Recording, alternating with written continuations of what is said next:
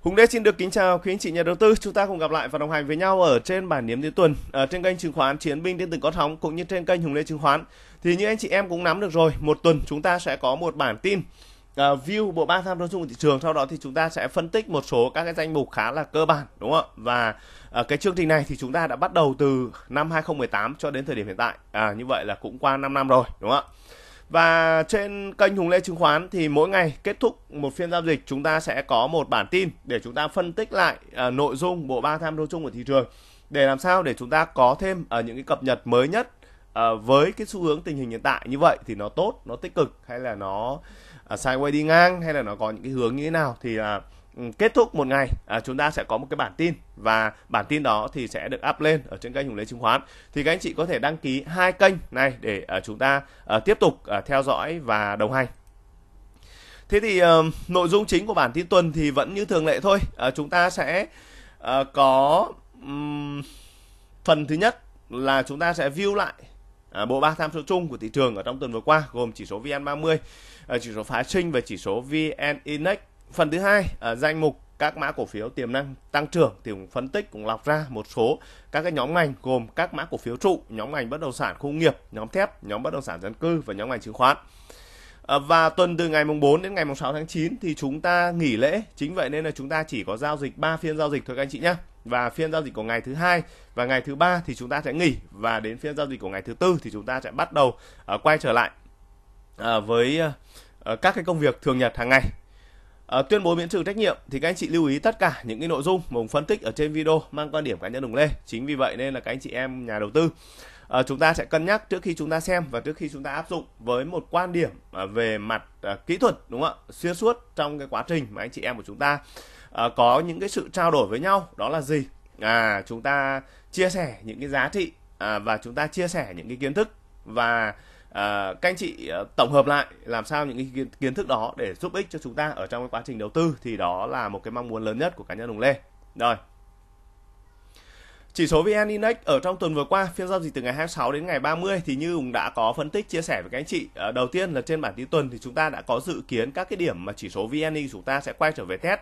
Đó là điểm 1280, điểm 1275 và điểm 1270 thì các anh chị nhìn thấy là trong tuần vừa qua thì chỉ có phiên giao dịch ngày 27 chỉ số VNI của chúng ta về đến vùng 1275 còn về cơ bản là nó test ở vùng 1275 đến vùng 1277 và ở vùng 1280.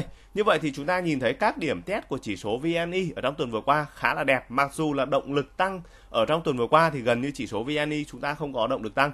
Đúng không ạ? Ở vùng 1285 ờ, đóng cửa tuần trước thì tuần này cũng ờ, 1283,7 ở đây tức là cũng suy soát ở quanh vùng 1285 tức là nó không có động lực tăng đó và đồng thời các cái vùng cản kỹ thuật thì nhung đã có phân tích ở đây đó là vùng 1290 đến vùng 1292 đó các anh chị thì đến cái vùng này là cứ đến cái vùng này là nó sọt cứ đến vùng này một sọt đó thì đây cũng là một vùng cản tâm lý và trong tuần vừa qua thì cái tâm điểm mà chúng ta có hướng đến đó là vùng 1300 đến vùng 305 thì đến thời điểm hiện tại là thị trường chúng ta chưa lên được. Tuy nhiên, ở trên góc độ kỹ thuật thì vẫn thấy à, có những cái điểm nét để giúp cho thị trường của chúng ta sau cái kỳ nghỉ lễ có thể à, bứt thoát đi lên. Thế thì phiên giao dịch của ngày mùng 4 tháng 9 à, thì chúng ta dự kiến quay lại thị trường và dự báo thì chỉ số VN của chúng ta sẽ tiếp tục có cái điểm kéo gáp về khoảng quanh vùng 290. Sau đó thì nó sẽ lần lượt có các điểm test lại, khả năng vẫn còn những điểm test à, 1280, 1275 và vùng 1270. Trong thời điểm ngắn hạn thì Hùng nhận diện thấy rằng là cái vùng ở vùng 1255 đến vùng 1265 vẫn đang là cái vùng rất tích cực của chỉ số VNI.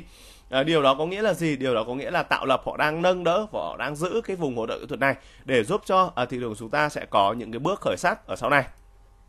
Vậy thì quay ngược lại ở đây à, ngày hôm nay thì chúng sẽ view cho các anh chị à, cái chỉ số VNI ở trên chart kỹ thuật ngày.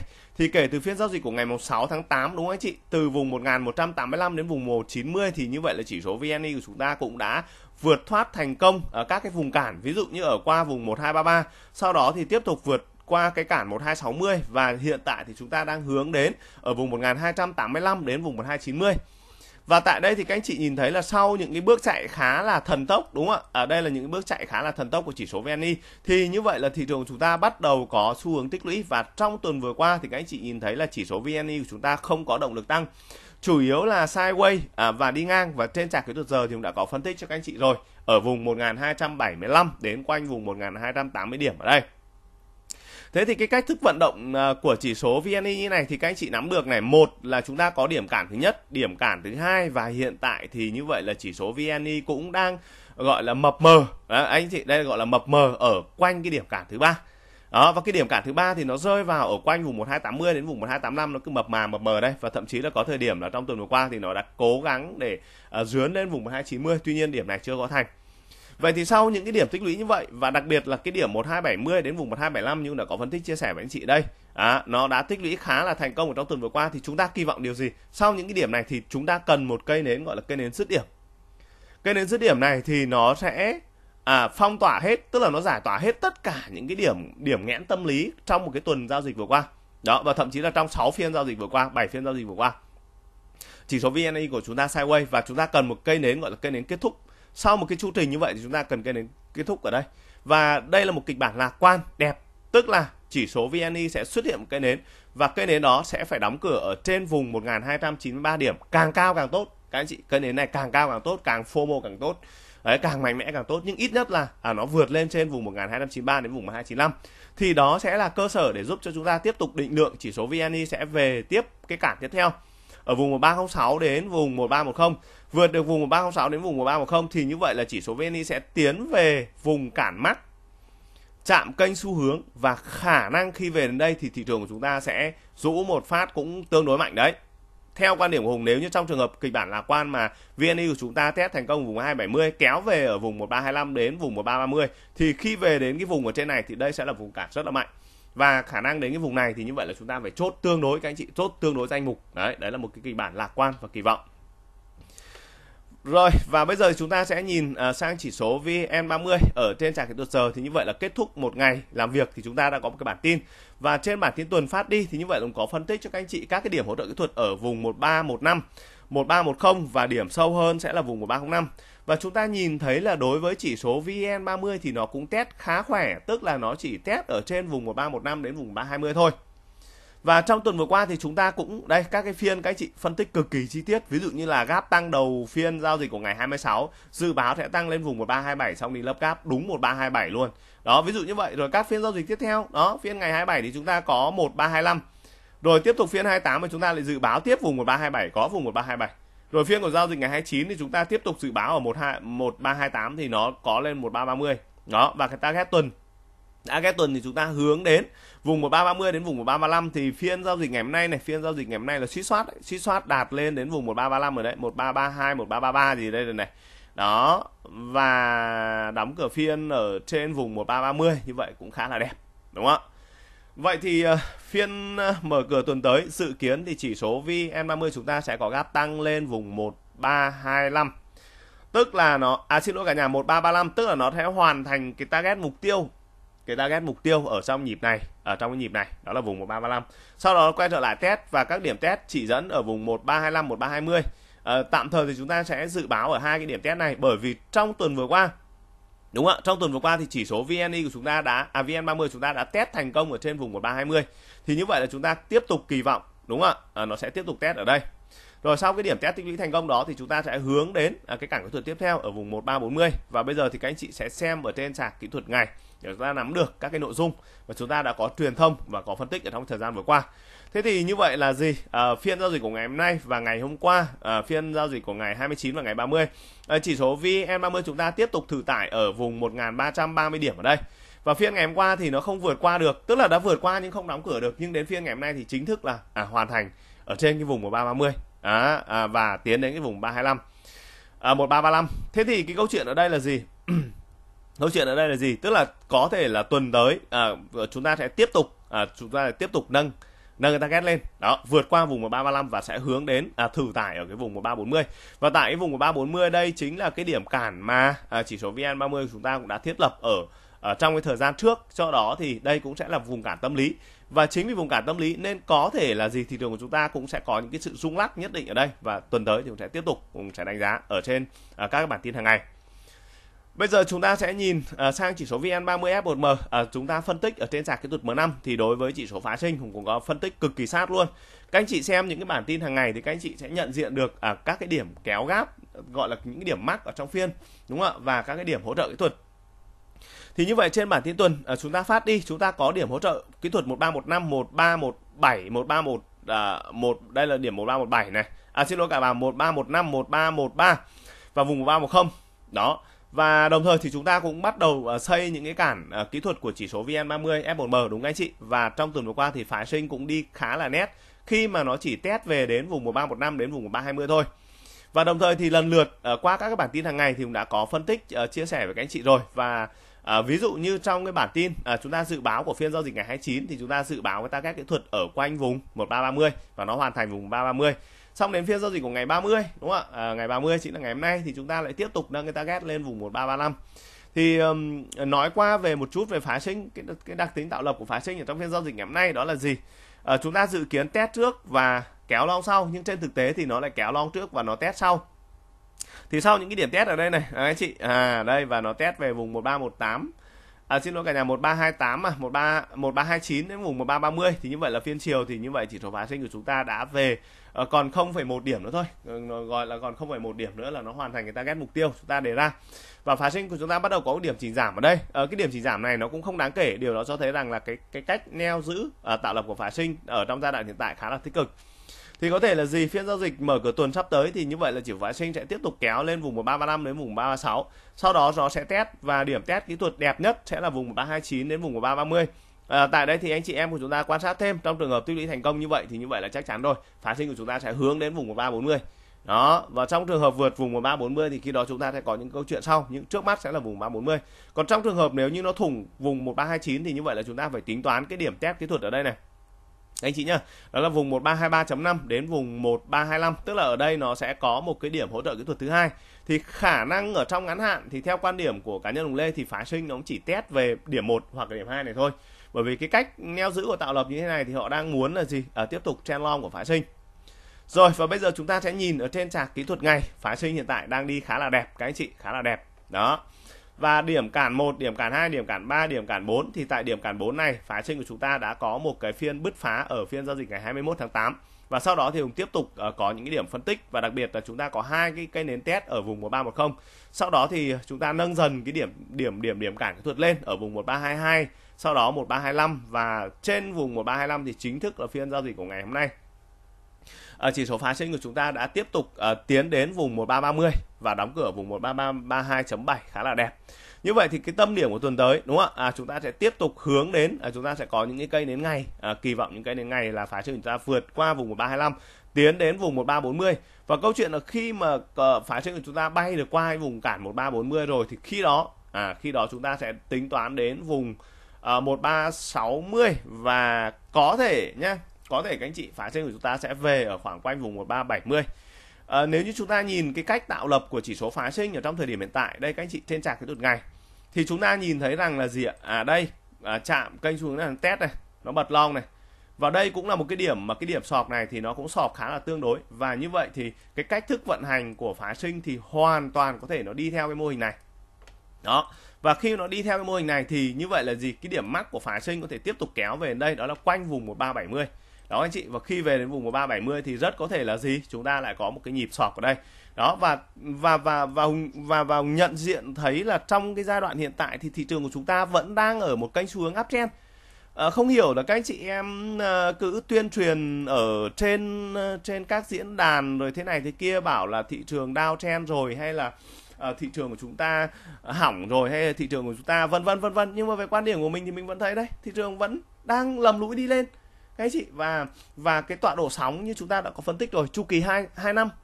Chu kỳ 2 năm thì ít nhất phải tháng 11 tháng 12 của năm 2024 các anh chị lưu ý cái mốc thời gian đó và đến cái thời gian đó thì như vậy sẽ nhắc lại để các anh chị nắm được. Còn ở thời điểm hiện tại thì à, cái mô típ đi của thị trường à, hiện tại đang rất là happy với quan điểm cá nhân của Hùng Lê là như vậy. Và uh, happy như thế nào và nó sẽ đi như thế nào thì anh chị em sẽ tiếp tục theo dõi những cái bản tin à, phân tích của cá nhân Hùng Lê đúng không ạ? À, hàng ngày thì như vậy là chúng ta xem à, chúng ta chịu khó chúng ta xem đúng không ạ? Đó. Và uh, chúng ta xem làm sao để mà uh, nó tốt lên nó tích cực hơn. Chứ còn bây giờ để mà các anh chị cứ bảo là ừ, khoanh tay ngồi nhìn mà có thành quả nó không có đâu anh chị. Uh, chúng ta phải đổ mồ hôi sôi nước mắt vào và chúng ta phải cố gắng vào. Đó. chúng ta phải nâng cao cái uh, tâm uh, tâm tuệ vào đúng không ạ? Cái tâm của chúng ta như thế nào? Cái tuệ của chúng ta như thế nào? Kiến thức của chúng ta như thế nào? Đó đó thì chúng ta mới phát triển được. Chứ còn bây giờ chúng ta cứ xem chứng khoán là một cái bộ môn phụ thì khó lắm. Các anh chị chỉ bị lên lên lên lên thị trường chứng khoán mà xem chứng khoán là cái bộ môn phụ thì không bao giờ các anh chị kiếm tiền được. Bởi vì uh, thị trường chứng khoán nó là cái cái cái hình thái cái hình thái kinh doanh đầu tư cao nhất trong tất cả các loại hình thái.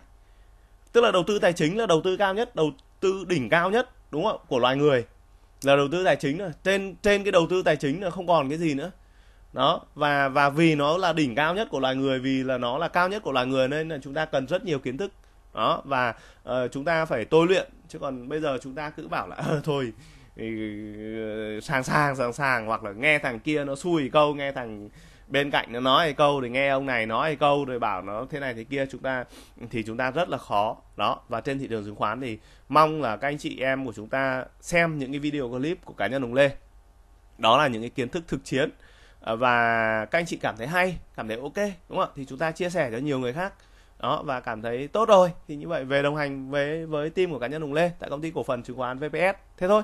À, rất là đơn giản. Còn nếu mà à, chúng ta không về hoặc thì chúng ta cứ hàng tuần chúng ta xem đúng không ạ? Và uh, chúng ta tích lũy được cái gì tốt uh, cho mình thì như vậy là chúng ta tích lũy đúng không ạ? Với một cái góc độ như vậy là rất là happy các anh chị nhá. Rồi và phần thứ hai thì chúng ta sẽ bắt đầu uh, các cái nội dung mà chúng ta sẽ đi phân tích một số các cái danh mục cổ phiếu tiềm năng các anh chị nhé. MVWG ở trong tuần chúng ta có dự kiến điểm chỉnh cung kỹ thuật ở quanh vùng 69, điểm uh, sâu hơn sẽ là vùng 67 nhưng mà trên thực tế thì như vậy là phiên giao dịch ngày 27 nó thùng này thì nó sẽ hướng về quanh vùng 68 và hiện tại thì nó có cả cái tuần đi ngang ở quanh vùng 69, hai cây nến giờ phục hồi của phiên ngày hôm nay khá là tích cực. Như vậy thì tuần tới chúng ta sẽ tiếp tục đánh giá quanh vùng 69, uh, à, kỳ vọng test tích lũy thành công, mục tiêu thì sẽ hướng về khoảng quanh vùng 72 đến khoảng quanh vùng 73. Cổ phiếu Mansan Masan cũng là một mã cổ phiếu được khuyến nghị cầm dài, đầu tư dài. À, với góc độ kỹ thuật hiện tại thì như vậy trong tuần chúng ta dự kiến cái điểm ở đây là vùng 76.6 trên thực tế thì nó thủng vùng 76.6 thì nó sẽ test tiếp cái điểm 75 đến vùng 75.5 ở đây Ờ, và nó cũng đã có cái sự phục hồi quay về vùng 78 tuy nhiên tại vùng 78 thì động lực của cổ phiếu Masan nó lại chưa có. Cho nên tuần tới lại tiếp tục à, dự báo test lại khoảng quanh vùng 76 điểm sâu hơn sẽ là vùng 75.5 à, kỳ vọng test đi thành công. Thì mục tiêu trong ngắn hạn thì vẫn như vậy thôi. Break vùng 78 và sau đó sẽ hướng đến à, cái vùng cản cao hơn đó là vùng cản 80 cổ phiếu Vinamilk ở trong thời điểm hiện tại thì khối ngoại cũng đang hỗ trợ uh, khá là tích cực của cổ phiếu này thì trong tuần chúng ta dự kiến điểm chỉnh cung test lại vùng 74 và trên thực tế thì nó test sát đến vùng 72.5 đây các anh chị nó test lại từ cái tuần 12 tháng 8 thì như vậy cũng khá là tích cực thôi. Hiện tại thì Vinamilk vẫn đang đỡ được ở trên vùng 72.5 đó là ờ, khá là ổn. Ở phiên ngày hôm nay có điểm long và sau đó thì ờ, cây đến giờ kết thúc phiên thì còn đang có xu hướng chỉnh lại. Như vậy ở đây chúng ta sẽ tiếp tục ờ, dự báo ở điểm 72 72.5 và điểm xa hơn có thể tuần tới ở khoảng 73 đến khoảng vùng vùng 73.4 ở test thành công thì target 76 bứt 76 thì sẽ hướng lên vùng 78 Cổ phiếu ờ, BVH ở trong tuần cũng ờ, có những cái điểm chỉnh cung kỹ thuật. Thứ nhất, điểm 1 là vùng 45.5, điểm 2 sẽ là vùng 45. Thì các anh chị nhìn thấy các cái điểm chúng ta dự báo ở đây. Tất nhiên là chúng ta sẽ không thể nào mà chính xác 100% được đâu. Đó, và chúng ta nhìn thấy là phiên từ phiên giao dịch ngày 27 đến ngày 30 thì gần như là BVH uh, tích lũy ở vùng 45 đến vùng 45.5. Đó. Và cây đến giờ thì có điểm phục hồi, tuy nhiên khả năng tuần tới thì nó sẽ còn có những điểm quay lại khoảng quanh vùng 45 45.3. Tức là Ờ, nó sẽ lấy cái điểm trung bình này. Đó. Nó sẽ lấy cái điểm trung bình này các chị nhé đó rồi là test tiêu ly thành công ví dụ như vậy. Và nó xuất hiện một cái nến giờ vừa thoát lại vùng 45.5 thì target kỹ thuật vẫn là vùng 47 bởi vì cái vùng 47 48 vẫn là cái vùng cản kỹ thuật của BVH ở trong thời điểm ngắn hạn. Cổ phiếu ờ, G G trong tuần thì có một cái điểm mà thứ nhất là chúng ta dự báo điểm test này ở vùng 69.5 ừ, đến khoảng vùng 69.8 À, target kỹ thuật của Di thì dự kiến là sẽ hướng về vùng 72 đến khoảng vùng 72.5 và trong tuần thì nó lên được vùng 71.6 thì nó bắt đầu nó chỉnh cung và phiên giao dịch của ngày 27 thì nó cũng bị mất ở vùng 69.5 cho nên là nó phải lùi lại. Cái điểm hỗ trợ kỹ thuật sâu hơn của nó đó là vùng 68 đến khoảng quanh vùng 68.3 và hiện tại thì uh, trên tuần thì nó đang xây khá là tích cực ở vùng này. À, tuy nhiên ở đây thì chúng ta nhìn thấy là cái động lực của G ở trong thời điểm ngắn hạn nó cũng chưa có nhiều cho nên tuần tới tiếp tục vùng 68 68.3 khả năng sẽ quay trở về đây test. Test tích lũy thành công thì như vậy là các kỹ thuật chúng ta sẽ hướng về khoảng quanh vùng 71 khỏe hơn thì G sẽ hướng về khoảng quanh vùng cản kỹ thuật 72 đối với mã cổ phiếu PNG ờ, là một mã cổ phiếu trụ và đối với mã cổ phiếu này thì như vậy là nó đi ở trong một kênh xu hướng tăng trưởng dài và sau một cái giai đoạn mà nó test tích lũy ở đây thì như vậy là nó đã có một nhịp đẩy và nhịp đẩy này thì Nhung đã có phân tích cho anh chị rồi. Vùng 109 đến khoảng vùng 110 nó là vùng cản nên nó sẽ phải quay trở lại test. Và các điểm test lần lượt sẽ là vùng 105 điểm sâu hơn sẽ là vùng 103 và các anh chị nhìn thấy là trong tuần vừa qua thì như vậy là gì? À, cổ phiếu đã quay trở về test và đây là những cái phiên test của cổ phiếu PNG và với cái cách vận hành như hiện tại ấy, thì có thể là tuần tới à, nó sẽ có những điểm test lại quay 100 hoặc điểm sâu hơn sẽ là vùng 98 đến 99 thì các anh chị lưu ý là à, đối với đối với PNG ở trong quá trình mà chúng ta à, tham gia tham gia thì các anh chị vì là vì là những cái điểm điểm kéo của nó khá là giáp cho nên là chúng ta cần phải uh, chúng ta cần phải thu gom từ từ. Các anh chị chờ lên một tí.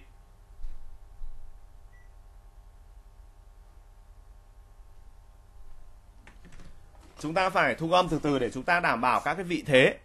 Bởi vì là nếu như mà những anh chị em mà cứ FOMO như thế này thì như vậy là chúng ta đã có những cái mức lỗ ở trong thời điểm ngắn hạn đúng không ạ? Và cái cách thức tiếp cận vấn đề uh, cách thức tiếp cận cổ phiếu của cá nhân Hùng Lê thì Hùng sẽ phân tích rất là từ tốn và từ từ. Và uh, và và và với một cái mô hình như thời điểm hiện tại đây thì rất có thể là gì?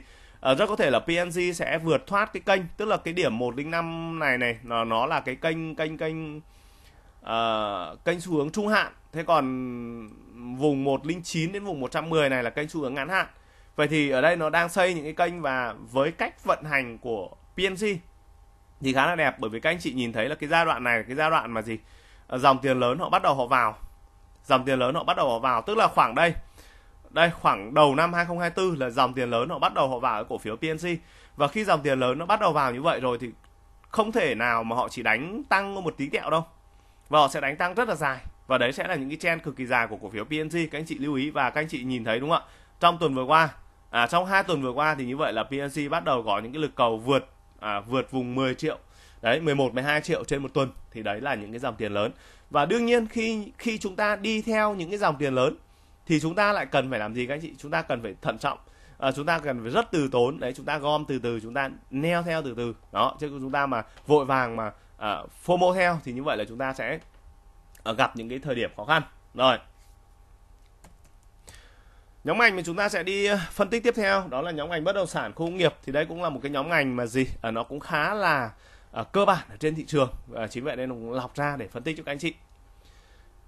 KBC ở trong tuần chúng ta dự báo vùng 268 đến vùng 271 ở đây thì như vậy là về cơ bản tích lũy khá là tốt. Ở trong kết phiên tuần thì nó lại đóng cửa vùng 26.75 tức là siết sát ở vùng 26.8.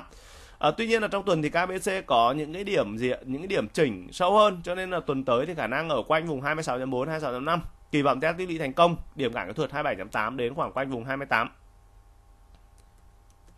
SSC cũng là một mã cổ phiếu cơ bản tốt và nó cũng đã có một cái lực kéo uh, rát ở trong năm 2024 và uh, đến thời điểm hiện tại thì cái vùng cản kỹ thuật ở quanh vùng 38.5 39 40 thì cũng khá là mắc đối với mã cổ phiếu này.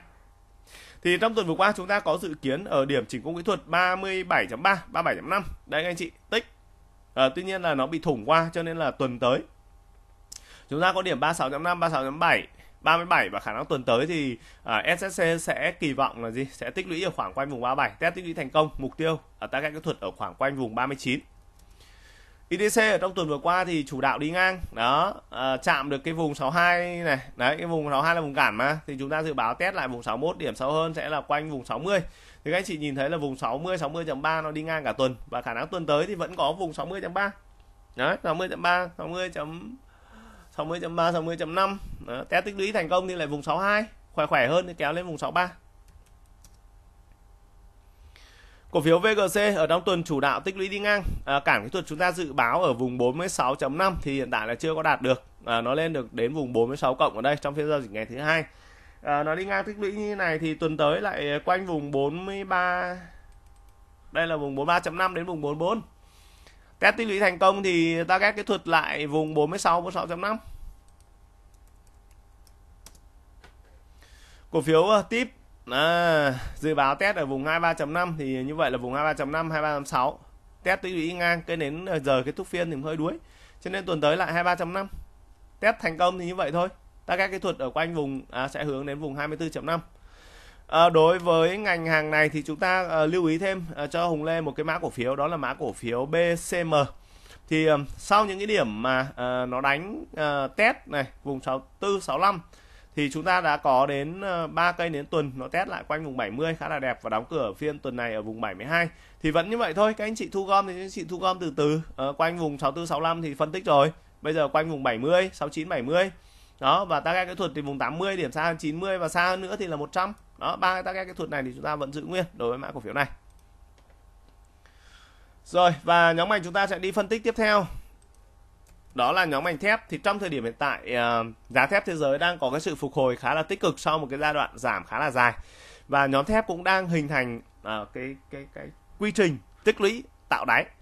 Quy trình tích lũy tạo đáy các anh chị. Và uh, và và hiện tại thì chúng ta cũng cũng đang chờ đợi những cái phiên hoặc là những cái tuần mà dòng tiền đột biến nó sẽ quay trở lại nhóm thép. Thì đó sẽ là những cái thời điểm mà gì?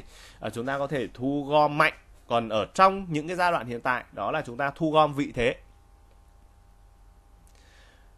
Cổ phiếu HPG ở trong tuần chúng ta dự kiến điểm test 25.8. Đây nó test cả tuần luôn và đến phiên giao dịch ngày 29 thì nó bị rơi qua vùng 25.8.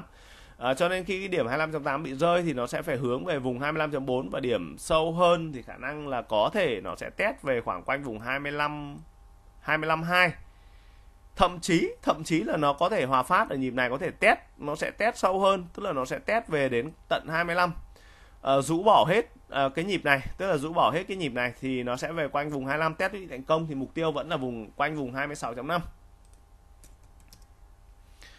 NKG dự kiến quay trở về test cung chỉnh nền ở vùng 21.7 đến quanh vùng 21.5 21.7 đây. Điểm này 21.7 điểm này 21.5 thì trong tuần vừa qua thì về cơ bản là Nam Kim cũng quay trở về test tích lũy thôi và cây nến giờ kết thúc phiên thì lại làm cây nến giờ đỏ dẫn đến câu chuyện là tuần tới lại 21.5 21.7 kỳ vọng test đi thành công. Các kỹ thuật ở khoảng quanh vùng 23 Cổ phiếu Hoa Sen HSG ở trong tuần à, chúng ta dự kiến điểm test tích lũy ở vùng 20.8 đến vùng 21 đây các anh chị này, nó test cả tuần luôn và đóng cửa đúng vùng 20.8. À, tuy nhiên là cái vùng à, vùng này thì khả năng vẫn khó để mà neo giữ cho nên tuần tới bởi vì tuần trước nó có cái điểm test về vùng 20.4 này cho nên khả năng tuần tuần tuần tới đây thì có thể là sẽ có những điểm về khoảng quanh vùng 20.4 20.5 test đi thành công thì target mục tiêu vẫn ở quanh vùng 23 cổ phiếu VGS VGS thì ờ, nó khá là nhạy T0 trong tuần vừa qua thì chính thức là VGS hoàn thành target mục tiêu 38 trên 38 thậm chí là cây đến giờ này nó còn kéo lên đến tận vùng 39 và khi hoàn thành target mục tiêu rồi thì như vậy là chúng ta lại có điểm test kỹ thuật ở đây này. Vùng bao nhiêu đây nhỉ? 36.6 đến khoảng 36.7 à? 36.7 đến khoảng quanh vùng 37 nó đi ngang cả tuần đấy các anh chị. Và nhìn về cách này thì có thể tuần tới nó sẽ nhíu lại khoảng quanh vùng 36 test thành công lại vùng 38 bứt được vùng 38 thì chúng ta sẽ hướng đến các cái vùng cản kỹ thuật cao hơn. Nhóm ngành mà chúng ta sẽ đi phân tích tiếp theo đó là nhóm ngành bất động sản dân cư thì đối với nhóm ngành này ở trong giai đoạn vừa qua là nó đã xuất hiện dòng tiền nó đã xuất hiện dòng tiền. Và nó đã có một nhịp long ở tuy nhiên sau một nhịp long đó thì nó cần phải rũ hàng. Các anh chị nó cần phải rũ hàng. Và các anh chị nhìn thấy là sell trong tuần vừa qua nó bắt đầu rũ à, bắt đầu rũ. Bao giờ như vậy các anh chị nó vào tiền nhịp một rồi thì nó phải rũ à, nó về rũ để cho những ai mà nhỏ lẻ những cái nhà đầu tư nhỏ lẻ họ sợ hoặc là họ đu bám ở những cái vùng ví dụ quanh vùng 17 thì nó rũ cho một phát về khoảng quanh vùng 14 ví dụ như vậy là ô, bán ngay bán nhanh bán vội. Ví dụ như vậy. À, tuy nhiên là ví với những cái vị thế mà những cái nhà đầu tư họ rất là thông minh ví dụ như những cái điểm ở đây đó là vùng 13 14.3 14.5 đúng không ạ? À, cả cái tuần này nó tích lũy ở đây. Đó thì như vậy là chúng ta đã có những cái điểm gom vị thế rồi thì có thể lên đến vùng 17 và nó thậm chí nó trả về đến những vùng khoảng quanh vùng 15 15.5 thì vẫn ok đúng không ạ? Đó là cái cách mà uh, chúng ta vận hành chúng ta vào giá vốn nó rất là quan trọng. Sell ở trong tuần chúng ta dự kiến cái điểm test uh, tích lũy ở đây này điểm này là điểm 16.5 điểm sâu hơn sẽ là vùng 16 và trên thực tế thì sell đã test về đến vùng 16 anh chị nhé phiên giao dịch không biết là cây nến này cây nến thật hay cây nến đều nữa. À, tuy nhiên là chúng ta vẫn tiếp tục lấy cái biên hỗ trợ kỹ thuật ở vùng 15.5 đến vùng 16 ở tuần sau. Kỳ vọng test đi thành công thì như vậy trước mắt à, sẽ hướng lại vùng 17 đến khoảng quanh vùng 17.5 cổ phiếu HDG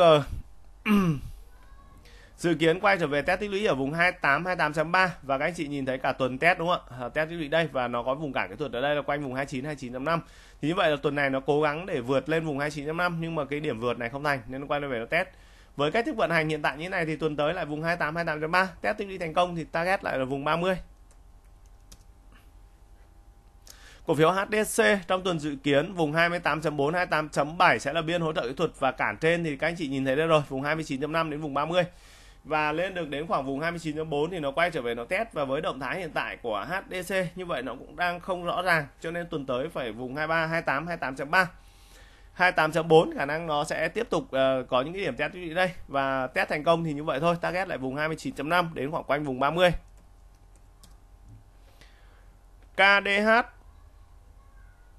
Target 1 ở vùng 38, target 2 ở vùng 39 và trong tuần thì lên được vùng 38.7 thì nó quay trở về test và các cái điểm test cung kỹ thuật thì về cơ bản như vậy thôi, nó ở vùng 37. Ở ờ, quanh vùng 37 ở đây và như vậy thì trong tuần vừa qua điểm test sâu nhất là vùng 37 36.7 đến khoảng quanh vùng 37 và hiện tại thì nó lại bắt đầu tiệm cận lên đến cái target kỹ thuật từ vùng 38. Uh, trendy thì cũng khá là đẹp. Nói chung trendy khá là đẹp. Tuần tới thì nếu có chỉnh thì khả năng nó sẽ rơ lắc ở khoảng quanh vùng 37.3 khả năng sẽ rơ lắc ở khoảng quanh vùng 37.3 rồi test thành công mục tiêu 38 và sau đó vẫn là 39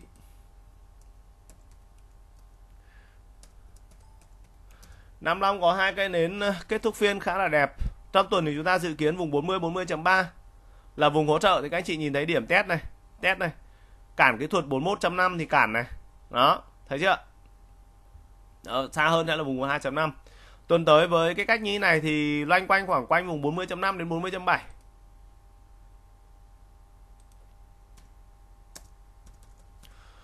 loanh quanh 40.5 40.7 test đi thành công. Mục tiêu vẫn là 41.5 sau đó là vùng vùng 42 Đạt Phương ở trong tuần chúng ta dự kiến ở vùng 51.2 đến vùng 52 test này các anh chị nhìn thấy ạ. Test này test này rồi long này. Cản kỹ thuật ở đây là vùng 55 trong tuần vừa qua là lên được đến vùng 54.5 các anh chị nhé còn 0,5 nữa là đạt đến vùng 55 cho nên tuần tới thì nó lại lại loanh quanh ở vùng 52.5 test tích lũy thành công thì như, như vậy là chúng ta tiếp tục hướng vùng kỹ thuật 55 DG trong tuần vừa qua thì nó có một cái thông tin đó là thông tin về ờ, kết luận của thanh tra chính phủ. À, đó là lý do khiến cho DG đang tích lũy khá là đẹp ở quanh vùng 24.5 đến khoảng vùng 25 thì nó gặp hai cây nến giờ rơi mạnh ở đây. Và vì nó là tin tức cho nên là có thể là nó sẽ bị mất một vài phiên để nó ổn định lại và nó hấp thụ hết cái thông tin này. Thì với cái cách vận hành hiện tại của DG thì như vậy là tuần này như vậy DG đã rơi xuống ở đây là vùng 2.5 đến vùng 2.7 và trong phiên giao dịch ngày hôm nay thì về cơ bản là gì? DG kết thúc phiên thì đã lấy lại được trên vùng 23 cộng. Như vậy đây cũng là một cái yếu tố kỹ thuật khá là tích cực của cổ phiếu DG ở kết phiên ngày hôm nay. Vậy thì có thể tuần tới nó sẽ loanh quanh thêm ở vùng 22 năm 27 đến vùng 23 test tích lũy thành công. Các anh chị lưu ý test tích lũy thành công mục tiêu thì như vậy thôi. Chúng ta lại tiếp tục hướng lại à, vùng cản kỹ thuật 25 và sau đó vùng 26 và các anh chị nhìn thấy là ở hiện tại thời điểm hiện tại chúng ta nhìn thấy là lực cầu bắt. Ai bắt đây các anh chị? Đây toàn tay to bắt chứ tay nhỏ làm gì dám bắt đúng không ạ? À, thì tay to họ họ đã bắt đầu họ vào hàng rồi. Đó và họ phải tìm cách để rũ dung rũ à, để có những cái giá rẻ để họ thu gom. Đó và chúng ta chuẩn bị cho một cái trend của bất động sản và khả năng thì quan điểm của cá nhân Hùng Lê thì khá là ổn. Nói chung là như vậy đất xanh, đất đỏ, ở trong tuần vừa qua thì như vậy là tiếp tục ờ, công hạ cái vùng 16 và thậm chí tuần trước thì nó cũng bắt đầu công cái vùng 16 tuy nhiên đến thời điểm hiện tại nó công chưa thành. Các cái điểm test mục tiêu ở vùng 15.5 15 và 14.5 thì đến thời điểm hiện tại là chỉ về đến vùng 15.5 15.3 như vậy tuần tới thì khả năng là chúng ta cũng sẽ có các cái điểm quanh vùng 15 đến vùng 15.3 kỳ vọng test tích lũy ở đây thì như vậy mục tiêu 16 điểm xa hơn sẽ là vùng 17 Novaland ờ, lực cầu cũng khá là tốt ở trong cái thời gian vừa qua và đã giúp cho cổ phiếu này cũng phục hồi ờ, đâu đó cũng trên 30% ấy nhỉ, không đùa đâu. Lên đến vùng 13.5 rồi. Đó thì như chúng ta đã có phân tích ở đây này. À, với cái đà hưng phấn thì có thể là gì? Ờ, à, Novaland sẽ tiếp tục có những cái điểm kéo lên và sau đó nó sẽ test lại ở khoảng quanh vùng 12.9 đến khoảng quanh vùng 13 trên thực tế thì nó test về quanh vùng 12.8 rồi cho nên tuần tới khả năng nó sẽ có những cái điểm mà quay trở lại ở khoảng quanh vùng 12.5 12.7 và quanh vùng 13 chúng ta kỳ vọng là ở Novaland sẽ test ở đây test tích lũy thành công lực cầu quay trở lại đảo long. Thì như vậy là cái cản ngắn trong thời điểm ngắn hạn 13.4 và sau đó sẽ là vùng 14 còn trong trường hợp vượt thoát được vùng 14 thì đó chúng ta sẽ uh, xây dựng thêm các cái target kỹ thuật tiếp theo. Cổ phiếu PDR trong tuần chúng ta dự kiến cái điểm chỉnh cung 1 ở 20.7 đến vùng 21 điểm sau là vùng 20.2 thì trên thực tế là nó test về đến vùng 20. 20 mấy đấy ta 20.7 thật đúng cái điểm này nó test về vùng 20.7 và cản trên là vùng 22 cản vùng 22 cản vùng 22 đó trong tuần vừa qua cái chạm vùng 22 thì đạp xuống và chạm hỗ trợ dưới thì lại kéo lên và ở phiên ngày hôm nay thì chạm vùng 22 nên nó cũng không vượt qua được cho nên khả năng tuần tới thì nó lại tiếp tục có những cái điểm uh, test lại cung ở khoảng quanh vùng 20.7 21 21.1 ở đây này. Đấy, test đi thành công thì cản kỹ thuật vẫn là vùng 22 điểm xa hơn của PDR sẽ là vùng 23.5 thì các anh chị lưu ý này tức là chúng ta à, đây PDR sẽ phân tích cho các anh chị ở trên trạc kỹ thuật ngày à, ờ, thì câu chuyện là gì? Các anh chị nhìn thấy là ơ ông này ông ấy phân tích ở trên trạc kỹ thuật giờ ông ấy nhìn ngắn đấy nhỉ? Không phải đâu các anh chị hùng view, những cái điểm view của hùng nó không ngắn như trên sạc cái tuột giờ đâu. Đấy, các anh chị nhìn này PDR ngay từ cái thời điểm vùng 30 nhá, Hùng đã có phân tích điểm chỉnh vùng 23.5 này, Long lên này sọt xuống, long lên này, Sau đó chúng ta phân tích những cái điểm gì ạ? Những điểm sọt khá là thấp và cái điểm sọt sâu nhất mà chúng ta có phân tích ở trên bản view tuần đúng không ạ? Là quanh vùng 17 nhưng trên thực tế là ông có nhìn ở trên trên chạc ngày á ông nhìn thấy tại cái vùng bảy này này nó có những cái điểm gì và chúng ta nhìn thấy đúng không ạ? Rất nhiều ngày nó phân tích này nó đây này. Và sau đó tại trên chạc tuần ngày các anh chị nhìn thấy đường cong mềm mại chưa đường mà CD xanh này. Nó nhiều thứ lắm. Nói chung là đây ông chỉ view cho các anh chị uh, mỗi cái tín hiệu đường MACD thôi. Nhưng mà ông còn sử dụng uh, một số các chỉ báo kỹ thuật khác. Và mỗi người thì có một cái cách sử dụng riêng và không ai giống ai. Uh, dòng tiền tăng này được chưa và đặc biệt là phân tích được cái cái ba của nhóm ngành bất động sản, các anh chị, cái ba ba ba tăng của bất động sản đó. Và như vậy PDR lên này. Thì lên quá trình lên thì sẽ có một cái cản kỹ thuật gì? 20 này. Bứt được vùng 20 á, chúng ta bắt đầu xây lên vùng 22 này. Và tại sao ở trên bản tin giờ chúng ta nói đến vùng 22 các anh chị, đây. Đúng không ạ? Nó có sự liên hệ chứ không, đây, tại sao hùng phân tích ở vùng 22 tức là trước mắt nó phải vượt cái vùng cản 22 này đã, rồi khi đó chúng ta mới có điểm 23.5 đó thì trên trạng cái tuần ngày này vì sao lại có điểm 23.5 đây 22 này khả năng nó test lại này. Đang kỳ vọng là gì? Khi chạm cái cái thanh 322 này á vì đây là vùng cản này nên nó sẽ test lại và các cái điểm test đẹp ở sẽ ở khoảng quanh vùng 20 đến nếu như nó khỏe thì như vậy là nó sẽ test ở điểm 20 đến 20.5 và đây đã có một cái điểm suy soát ở vùng 20.5 rồi này. Các anh chị nhá đã có một cái điểm suy soát vùng 20.5 rồi. Thì có thể tuần tới uh, tiện đà đúng không ạ? Uh, tạo lập họ đạp nốt về một cái điểm ở đây 20 rồi sau đó nó sẽ tiếp tục bứt vùng 22 bứt vùng 22 thì chúng ta sẽ có cái cản 23.5 ở đây này. Được chưa? Đấy, và vì sao lại có xuất hiện cái điểm 23.5 ở đây? Thì chúng ta nhìn ở bên này chúng ta đều hiểu. Bứt được cái vùng 23.5 thì trùng vùng sẽ tiếp tục phân tích lên vùng 26 26.5. Các anh chị hiểu chưa? Nó đó. Chứ không phải là cứ đơn giản là cứ cứ cứ ngồi cứ nói cứ cứ phán thế đâu. Đó. Và tất cả những cái dữ liệu mà cá nhân đồng lê phân tích á, thì nó theo một cái mô típ logic về sự vận hành của cổ phiếu và thị trường thế tuy nhiên là gì? À, có những cái thời điểm đúng không ạ? Thị trường nó vận động theo tin. Theo tin thì bố thằng tây là phân tích được đúng không ạ? Đang yên đang lành thế này tự dưng khởi tố thì, thì, thì ừ, thánh phân tích được à đúng không ạ? Ví dụ như vậy đúng không? ví dụ DG nó đang tích đẹp như thế. Ờ, nó ra mỗi cái tin là là là là kết luận mà từ cái thời năm 2000 bao nhiêu đấy hoặc là ví dụ như chẳng may nó đang đang đang yên đang lành như này bỗng dưng một ngày nó ra cái tin khởi tố thì bố hồng tây nó phân tích được đúng không ạ? Chúng ta phân tích là chúng ta phân tích kỹ thuật đó phân tích kỹ thuật là gì? Dữ liệu nó phải bình thường đúng không ạ? Không có cái gì nó gọi là là là ùnh hoàng cả. Nhưng bỗng dưng đang yên đang lành nó, nó chơi quả thế thì thánh phân tích đúng không ạ? Còn nếu mà theo bình thường thì như vậy là chúng ta phân tích khá là sát. Và chúng ta phân tích có cơ sở các anh chị nhé. Chứ chúng ta không không không nói trời nói đất gì cả. À, tất cả mọi thứ thì à, để đi được cổ phiếu để đi được để vận hành được thì nó cần phải có cái nội lực của nó. Nội lực của thị trường nội lực của cổ phiếu nội lực của doanh nghiệp. Đó mà chúng ta căn cứ những cái tín hiệu đó để chúng ta phân tích còn như ông đã chia sẻ rồi nó là xác suất. Các anh chị ai mà mà chính xác được một trăm phần trăm đúng không ạ? Ví dụ trong tuần vừa qua đúng không ạ? Chúng ta nó bảo là ở vùng 48 48.5 là vùng cản kỹ thuật của cổ phiếu VCI đúng không ạ? Đây thì đúng thật. À, đây là đúng. Ăn may đúng không? À, một nhiều anh chị bảo đây chắc nói phép ừ, may nó trúng đến cái vùng 48 48.5 nhưng không phải đâu anh chị. Nó có cơ sở à, nó có những cái thực tiễn để chúng ta dự báo rồi sau đó tại sao chúng ta dự báo cái điểm 46.7 đến à, 45.7 đến vùng 46 là vùng hỗ trợ kỹ thuật của cổ phiếu VCI đó thì khi nó quay về nó test ở đây các anh chị này. Đây là ngon rồi đấy này. Tuần tới thì chắc chắn chứng khoán lại bật. Đó câu chuyện nó là như thế. Vậy thì ờ, những anh chị đua ở đây thì có khi về đây bán này. Đó, về bán bán xong thì nó lại tăng về đây lại đua đua. Có khi nó về 48.5 49 thì bảo ôi thì tiếc quá. Có khi quả này nó lại lên 50 thì mua ở đây có khi nó lại sò phát nữa lại bán. Đó ờ, cái cái vòng lặp đấy nó liên tục xảy ra với anh chị em nhà đầu tư. À, do đó thì chúng ta sẽ cần phải uh, cố gắng. Và nói chung là cố gắng như thế nào thì hùng cũng không biết nhưng mà nỗ lực hàng ngày thôi thế thôi. Và mong là anh chị em của chúng ta kiếm được tiền ở trên thị trường chứng khoán. Đấy là cái điều hạnh phúc nhất thôi chả có gì cả đúng không cổ phiếu ờ, VCI à, trong tuần thì chúng ta nói rồi đúng không ạ? Vùng 48 48.5 là vùng cản kỹ thuật nên nó sẽ chỉnh cung. Các điểm chỉnh thì sẽ dự kiến ở khoảng vùng 45 à 46.7 đến khoảng quanh vùng 47 điểm 1, vùng 2 là 45.7 đến vùng 46 và tuần này thì đã chính thức chạm đến vùng 46 và nó bật lên. Thì cách bật này thì nó cũng chưa thể một sớm muộn là nó bật lên được ngay đâu, nó cũng phải nói chung nó cũng phải giằng co. Các anh chị nó cũng phải giằng co thêm một hai phiên nữa. Đó, rồi sau khi mà sau khi mà nó vượt thoát thành công ở đây đúng không ạ? rồi và lực cầu quay trở lại thì như vậy là chúng ta lại tiếp tục gì? Chúng ta lại tiếp tục có cái target kỹ thuật ở đây này 48 48.5 cổ phiếu HCM ở trong tuần thì cũng đã chính thức đạt mắc target ở vùng 30 thực ra là chưa đạt đâu còn một tí kẹo nữa thôi nhưng mà cũng là gần như là 30 trên 30 rồi.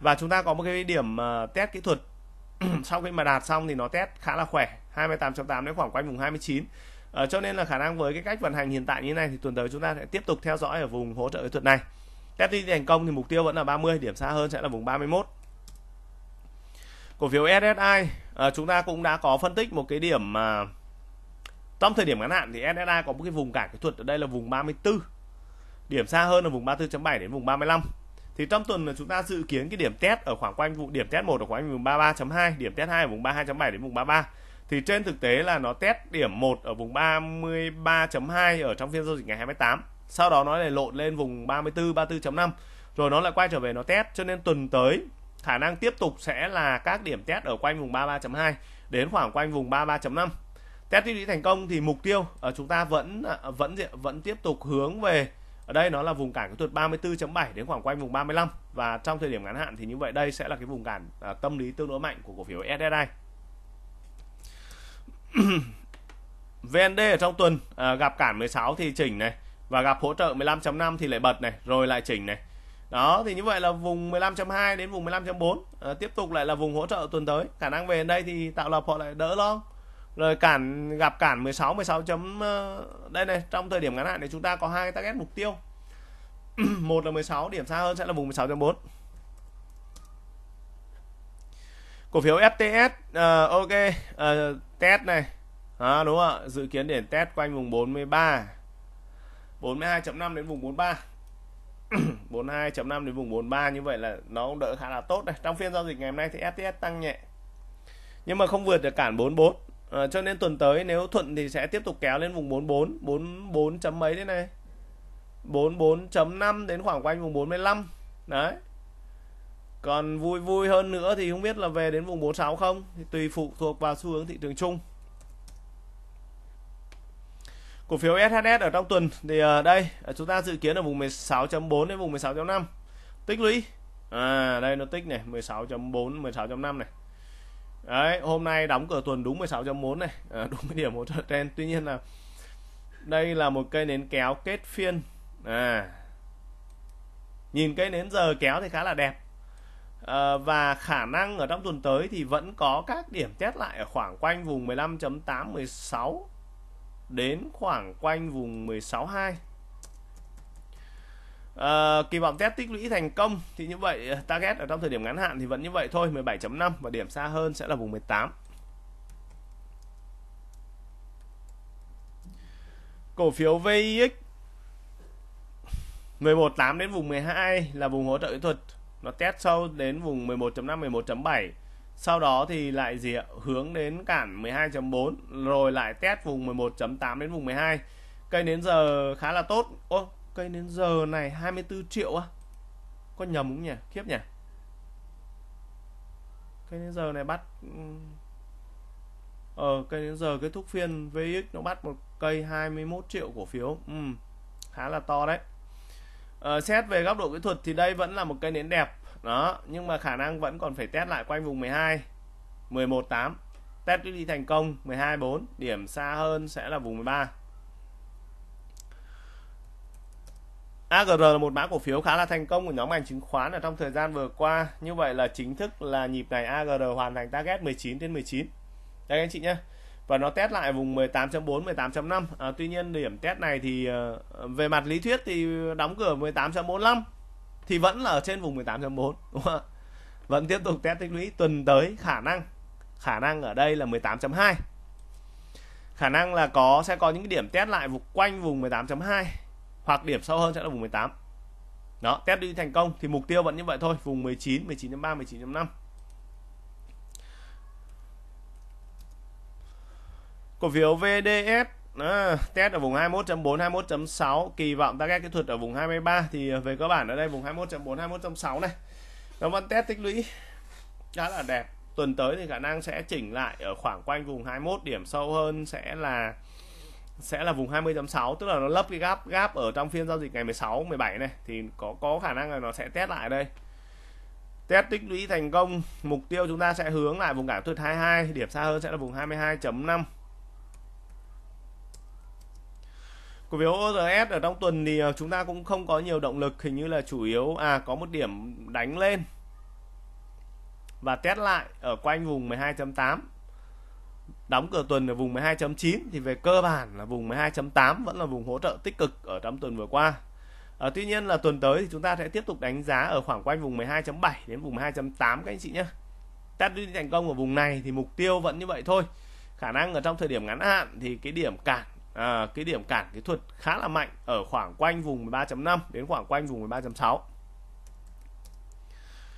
CTS à, CTS cũng khá là mắc đấy. Nhịp vừa rồi nó kéo kéo khá là tốt. Kéo khá là tốt. Ở nhìn chung thì đối với CTS ở trong thời điểm hiện tại như vậy là vùng 38.5 đến khoảng quanh vùng 39 vẫn là điểm tích lũy này.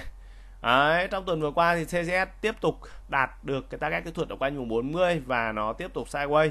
Như vậy tuần tới uh, sẽ test ở điểm 38.5, điểm sâu sẽ là vùng 38 hoặc điểm sâu hơn nữa sẽ là khoảng quanh vùng 37 thì à, nó sẽ lấp lại cái gap ở trong phiên giao dịch của ngày 16 19 ở đây tùy tùy binh binh tình tình, tình hình đó. Và test nói chung test đẹp thì sẽ ở khoảng quanh vùng 38 và tại vùng 38 nếu còn lực, lực cầu bắt long lên. Đây các anh chị này tại vùng 38 nó bắt long lên thì như vậy là target kỹ thuật ở khoảng quanh vùng 40 đến khoảng vùng 40.5 à, ờ, cổ phiếu MBS ở trong tuần vừa qua cản kỹ thuật vẫn là vùng 29 đây hai cây nến giờ vượt lên vùng 29 nhưng không thể vượt thoát qua và điểm 27.5 đến vùng 28 là biên hỗ trợ.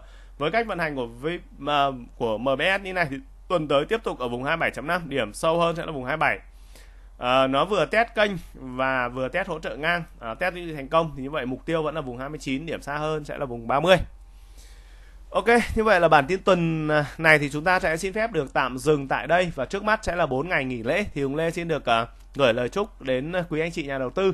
Chúng ta sẽ có những cái ngày nghỉ lễ vui vẻ bên gia đình bên người thân. Chúng ta cố gắng học tập tích lũy thêm nền tảng kiến thức tích lũy thêm tiền bạc và tích lũy thêm kinh nghiệm để chúng ta có được một cái đường đi dài với thị trường chứng khoán Việt Nam. Và có thể trong tháng 10 tới đây thì ETF sẽ nâng hạng thị trường của chúng ta lên và đó sẽ là một cơ hội rất lớn phải nói là cực cực kỳ lớn đối với anh chị em cộng đồng nhà đầu tư.